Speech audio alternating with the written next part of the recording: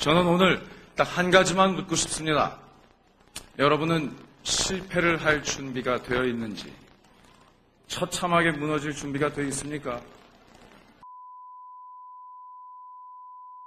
20년 전에 제가 서울대에 1년 머무는 동안 제 평생 유일무이한 남녀 동반 MT의 추억을 안겨줬던 서울여대. 그리고 그 꽃보다 아름다운 후배들 반갑습니다. 이 졸업연설이라고 하는 것은 참 의미가 깊죠. 정말 큰 영광으로 생각합니다. 이 제안을 받고 아, 정확히 18년 전에 제 대학 졸업식을 떠올렸습니다. 당시에는 이 미국 최초의 흑인 합참의장이었던 콜린 파웰이 와서 축사를 했습니다. 딱 두 가지가 기억이 납니다. 한 가지는 이 콜린 파웰이 연설을 시작하자마자 졸업생들이 일어나서 많은 졸업생들이 일어나서 등을 돌려서 앉았습니다. 그때 이 동성애자의 군입대 금지에 대한 열띤 논쟁이 있었는데 이걸 지지하던 파웰 의장에 대해서 학생들이 거부감을 표시했던 거예요. 아, 아마 이 자리에도 정치인인 제게 거부감을 느끼시는 분들이 없지 않으리라 생각이 됩니다. 어, 떤 분이 그러시더군요. 이 대부분 졸업생들이 싱글이라 공감을 못 하시겠지만 국회의원과 남편의 공통점이 뭔지 아느냐? 내가 골랐지만 참 싫은 두 사람이 국회의원과 남편이랍니다. 그렇게 당선과 동시에 비호감 종결자로 전락하는 국회의원이 왔는데 등을 돌려주지 않고 이렇게 들어주시니 저는 진심으로 감사드릴 뿐입니다. 두 번째로 기억나는 것은 이 파웰의 연설 중에서 단 한 구절도 기억에 남아있지 않다는 거죠. 여러분 아마 졸업에 대한 설렘, 두려움, 그리고 끝나고 부모님들과 친구들과의 뒤풀이 생각, 여러 가지 많은 생각이 아마 아무 말도 틀리지 않으실 거예요. 그래서 연설하는 사람의 입장에서는 편합니다. 원래 국회의원과 파리의 공통점이 이 신문에 맞아 듣기 쉬운 거거든요. 그만큼 말을 조심해야 되는데 제가 무슨 말을 해도 여러분이 훗날 전혀 기억 못 하실 것이라고 저는 확신하기 때문에 편하게 이야기하겠습니다. 그럼에도 불구하고 여러분께 무슨 말을 해드릴지에 대해서 밤새 고민을 했습니다. 이미 꿈과 도전을 하라라는 꿈을 가지고 도전을 하라라는 축사는 수도 없이 들으셨을 테고 그러나 오늘부로 지난 천년을 통틀어서 가장 역동적인 변화의 시점에 자의반 타의반으로 내던져지는 여러분들입니다. 이런 분들께 무슨 이야기를 해야 하나? 저는 오늘 딱 한 가지만 묻고 싶습니다. 여러분은 실패를 할 준비가 되어 있는지, 처참하게 무너질 준비가 되어 있습니까?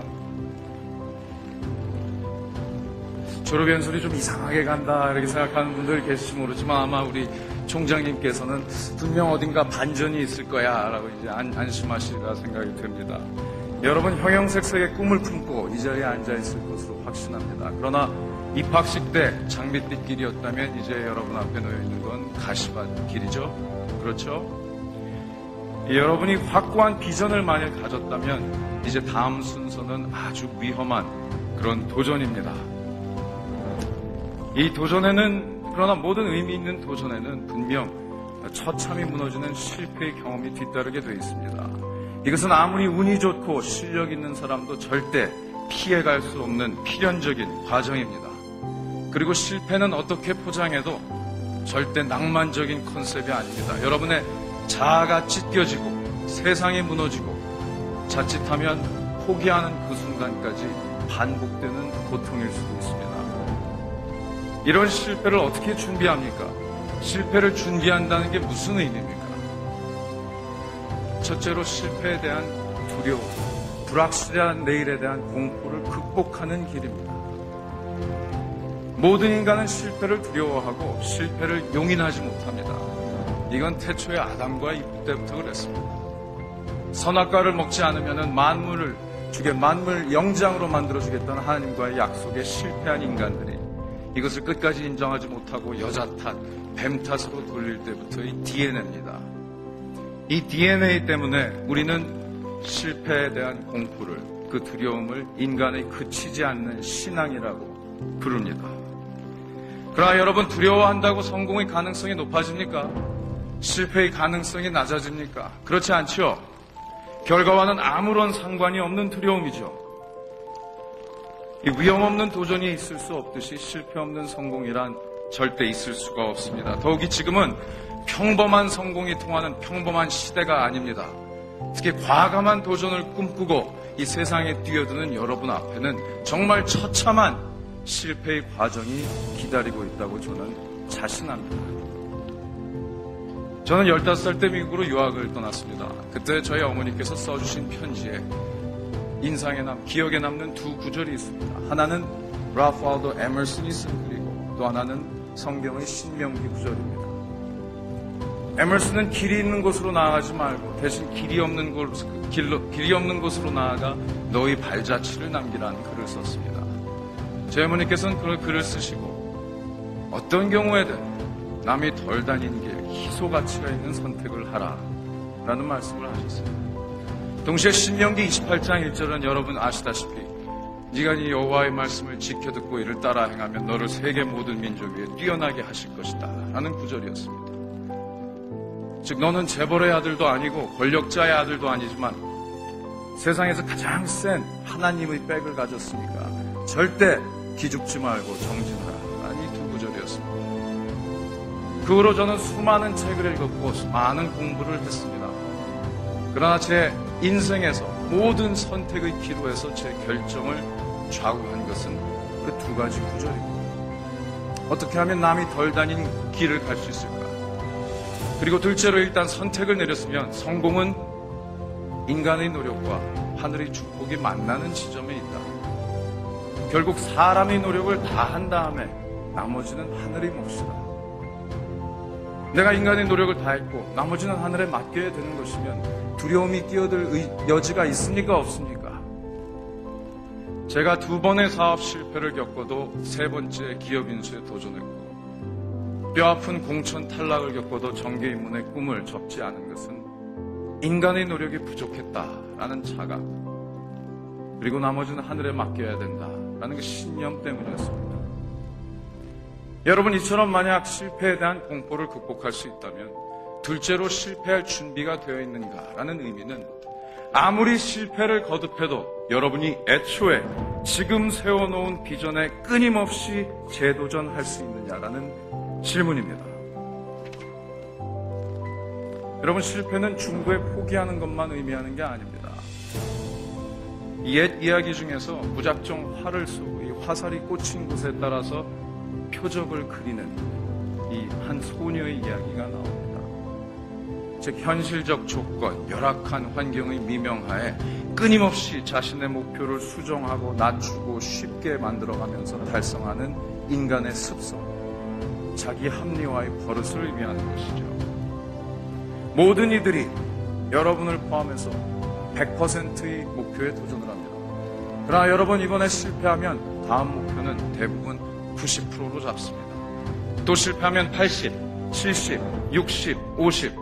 어느 날 여러분이 일어나서 거울을 바라보면 지금 여러분이 꾸던, 꿈꾸던 인간과 전혀 환희한 한 사람이 앞에 서 있습니다. 대부분의 인생이 그렇게 막을 내립니다. 여러분 사명은 시작과 끝이 같아야 됩니다. 여러분 지금 완전한 사명을 세우고 절반을 달성하려면 차라리 절반의 사명을 세우고 완전히 달성하는 것이 옳습니다. 저도 2001년도에 사업에 크게 실패했습니다. 로스쿨 동문 두 명과 함께 벤처를 세우고 150억 원의 자금을 유치했습니다. 이 돈을 6개월 만에 깨끗이 다 썼습니다. 그리고 도산했습니다. 그때 아, 아내와 큰딸 함께 캘리포니아에서 살고 있었는데 월세 낼 돈이 없었어요. 전 세계를 돌아다니며 공부를 하고 경력을 쌓았는데 결국 귀국해서 아버지 댁 문간방에 신세를 질 수밖에 없었습니다.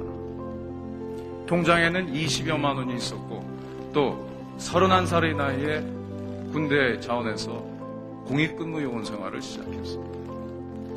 자, 저는 돈이 없는 거는 참을 수 있었어요. 회사가 도산하는 것도 아프지만 견딜 수 있었습니다. 그러나 제 운명의 주제자가 되겠다는 꿈만큼은 버릴 수가 없었습니다. 아무리 힘들어도 다시 회사로 들어가서 남의 지시를 받는 삶은 절대 살고 싶지 않았습니다. 그렇게 1년을 버텼습니다. 그리고 부채를 얻어서 50년 적자였던 헤럴드 미디어, 코리아 헤럴드 내외경제 신문을 인수했습니다. 그리고 2년 반 만에 하늘의 도움으로 흑자 전환에 성공할 수가 있었죠. 여러분 목표를 이리저리 고치면서 낮아진 쉬워진 목표 달성에 만족하는 것은 정말 멋진 실패보다 못한 추한 성공에 불과합니다. 아무리 멍들고 까지더라도 다시 일어나서 자기 합리화와 변칙적 달성 없이 애초에 세운 비전에 죽는 순간까지 끊임없이 재도전할 수 있느냐. 그럴 만한 가치가 있는 몸이고 그럴 만한 의지가 있는 인간이냐. 있다면 실패할 준비가 되어 있는 것이고 도전할 자격이 주어진 것입니다. 사랑하는 서울여대 졸업생 여러분, 말씀드렸다시피 여러분은 인류 역사상 가장 역동적인 변화의 장에 내던져진 사람들입니다. 모든 일이 일어날 수 있고 모든 상상이 가능한 곳입니다. 그리고 여러분 고유의 삶을 디자인할 수 있는 세상에 왔습니다. 그러나 여러분이 앞으로 이런 과감한 도전을 하면서 수도 없이 현실과 이상의 괴리 산에, 괴리 앞에서 좌절을 경험할 거예요. 저도 수도 없이 경험합니다. 그러나 여러분이 그 같은 실패의 벽 앞에서 울고 있을 때 누군가는 반드시 그 벽을 타고 오릅니다. 누군가는 반드시 그 벽 위에 꼭대기에 서 있습니다. 실패 없는 삶이라고 하는 건 성공 없는 삶을 의미합니다. 타인과 환경에 이끌려가는 휘둘리는 고만고만한 인생을 의미합니다. 나는 여러분 스스로 자문했으면 좋겠습니다. 평생을 떨면서 양으로 살 것이냐, 하루를 살아도 사자로 살 것이냐. 위험하지 않은 꿈은 꿔야 될 가치가 없어요. 이제 여러분에게, 젊은 여러분에게 모험은 선택이 아니라 의무입니다. 그리고 실패는 성공을 위해 반드시 겪어야 하는 피해갈 수 없는 필연입니다. 여러분, 인간의 노력을 다할 뿐이기에 나머지는 하늘의 몫이기에 두렵지 않다라는 신념. 그리고 아무리 실패해도 끝까지 재도전하겠다는 의지. 이 두 가지로 실패를 준비하고 한판 제대로 붙는 성공을 뛰어넘은 위대한 인생을 살아야 합니다. 그렇게 한 구석을 세상의 한 구석을 밝히는 사람들이 되길 바랍니다. 여러분 오늘 제게 주어진 연설 시간이 30분인데 제가 그 시간 다 쓰면 나쁜 사람이죠. 그래서 여러분에게 마지막으로 당부하고 싶은 말씀이 있습니다. 여러분 살아 숨쉬는 모든 시간에 깨어 있으세요. 그리고 죽는 날까지 살아가십시오. 그리고 절대, 절대, 절대 포기하지 마십시오. 알겠습니까? 감사합니다. 축하합니다.